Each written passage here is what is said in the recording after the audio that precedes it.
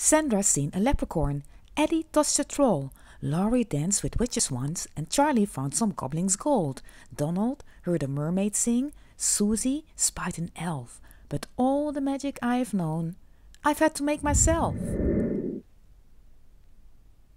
Susie wouldn't believe this pencil was a magical eraser. She said I was a silly moo. She said I was a liar too. She dared me to prove that it was true. And so what could I do? I erased her